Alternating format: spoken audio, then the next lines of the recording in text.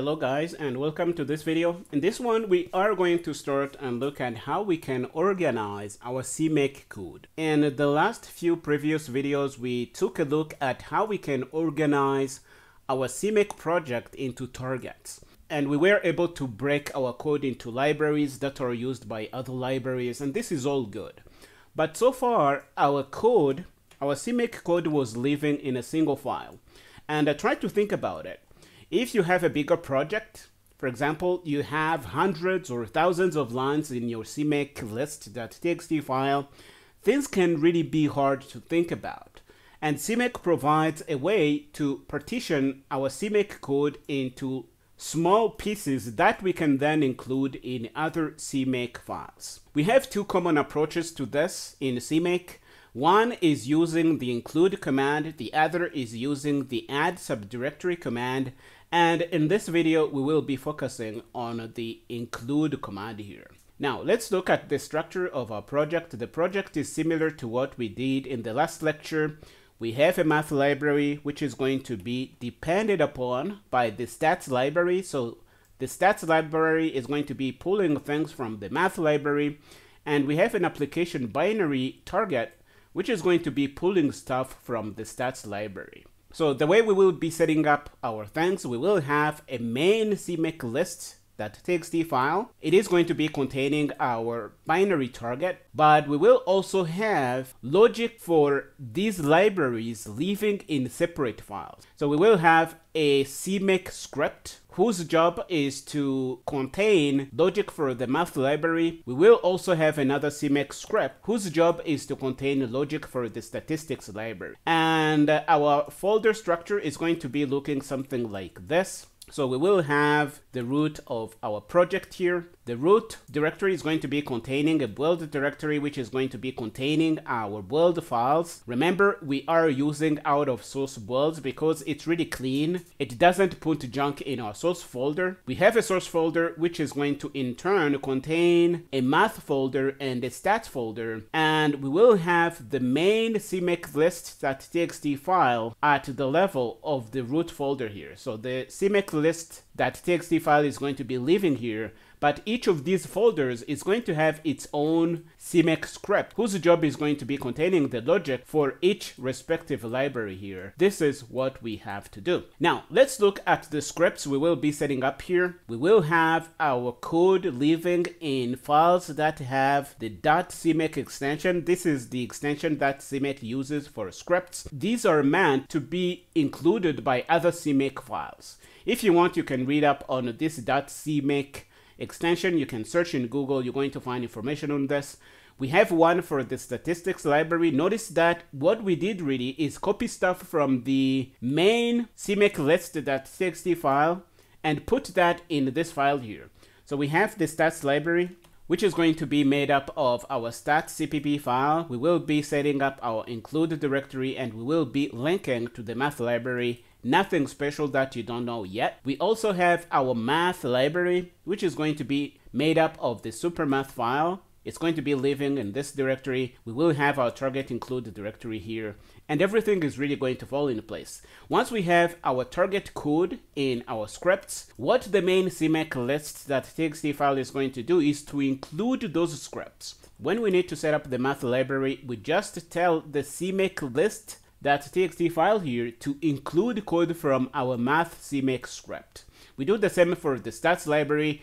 Notice that we don't really change any other thing. We set up our executable binary and everything is going to work just fine. One thing I want you to notice, however, is that the include path, the folder paths that we set up in our CMake script, this is something that can confuse a lot of people. We set up the directory paths relative to the folder that contains the top CMake lists.txt file. This is something you really need to notice here. If we go in our add library command, notice that we are saying go in src, but src is really living in the root directory. So we are doing things relative to the root directory where our main CMake list.txt file lives. But we are doing that even if we are really working inside a script that lives in a file nested down in our source hierarchy. This is something I want you to see and be careful about. This is one reason I don't like the include command. Another thing I should actually say right now is that what the include command does is really like copying the content that we have in our script and making that content available at the location where you use the include command. This is basically the same thing the C or C++ preprocessor does when you include stuff. It's basically copying code and making it available in the main CMake list.txt file. This is really all there is about this. Now is a good time to head over to Visual Studio Code and play with us a little more. Okay, here we are on our file system. We will set up a new folder which is going to be containing the code for the current episode. It's going to be named episode 009, I think.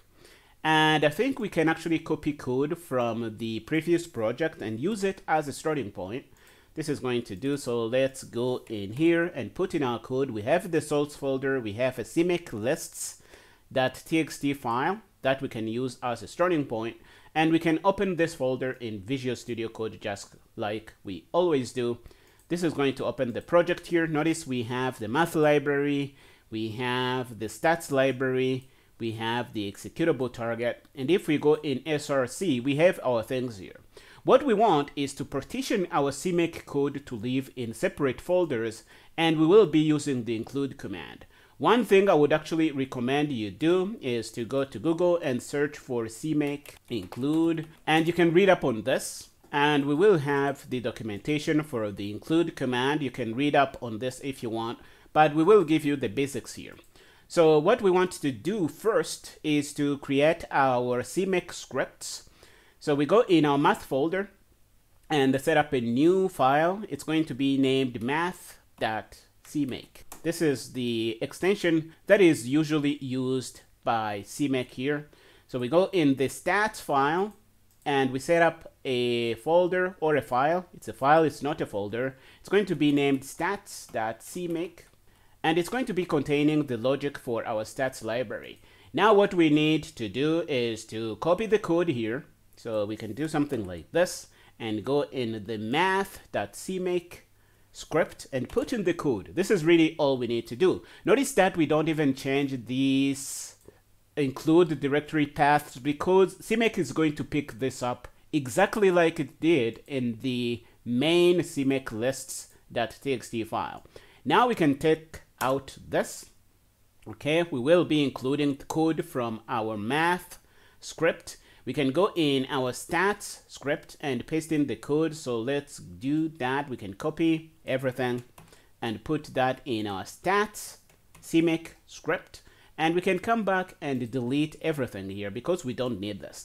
Now that the code is living in separate scripts, we need to include the code that we need to set up the math library and the stats library. So we will say include and we will say src and say math dot cmake. This is going to be our script. We do the same for the stats library. So let's say include src stats dot cmake. This is the name of the script. Let's try to build and see what happens here. But notice that now we have achieved the goal of breaking our code into logical things from the perspective of CMake here. So the logic to set up the math library is living in this script. The logic to set up the stats library is living in this script. Let's try to build and see what we get. So we can show the terminal. We can show what we have in here. We need to set up our build folder. So mkdir build. We cd into build. This is the usual thing. And we need to tell CMake to build using the Ninja generator. So let's do that if I can type. And we need to build what we have in the directory above this where the main CMake lists.txt file lives. Let's try to configure and we will have a problem here. We can't find the math.cmake script. We can't find these guys here. So what is going on? Oh, notice the problem here? Uh, our math.cmake script is living in the math folder. So we need to correct this a bit. Let's say math here and say stats. We got excited too quick and we made typos here, but no problem, we can fix them. Let's tell our spell check to ignore these things here because we don't want these squiggly lines. And we can try to configure again. So let's say cmake to configure. It's going to generate the build files. And if we say cmake build to build this, it's going to generate our rooster binary. And if we run, we see our mean here. Now, notice that our logic has moved in these scripts but one thing to be super careful about is that CMake is not going to do anything fancy here. It's just going to be copying the code when you include. So when we call include here, it's going to copy everything we have in math and make that available here. I'm not exactly sure if this is what CMake does, but the result is exactly the same. Why am I saying that? Because even if we are in this math script, we are setting up things from the perspective of the location where the main CMake lists that txt file leaves. Notice what we do when we say add library. We say src here, even if we are living inside the math folder. So it's really like we are still living in the CMake lists.txt file here, which lives at the root of our folder structure, but we are doing this inside the script which is nested down into our folder structure. We are doing the same here. When we say cmake current source dir, we won't be getting the location where this script lives.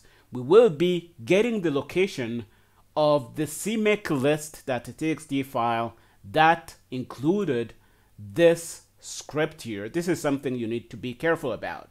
Another thing that you need to be careful about is that doing things using the include command is going to pollute the global scope.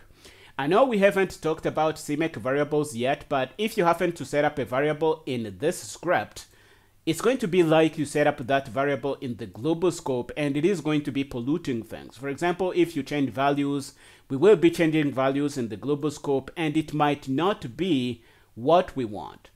Some people use the include command. I don't like it. It makes CMake code hard to reason about. One of the main reasons being that if you are in the script, you may think that you are working in the folder where the script lives, but you really are working in the location where the file that will be including this CMake script lives, and it can confuse you a lot. This is really all I had to share in this video showing you the include command. The good thing about it is that we are able to partition our project into logical CMake units and we can include things later on to set up our thing. The logic for the math library is living in this script. The logic for the stats library is living in this script. The downside is that it's going to pollute the global scope. It's just going to be working like a C or C++ preprocessor does, copying code and making it available in the main CMake list.txt file. Let me know what you think about this. We are going to stop here in this video. In the next one, I think we will be talking about the add subdirectory command, which is going to solve most of the problems we noticed with the include command here. I am going to stop here and I will see you next time.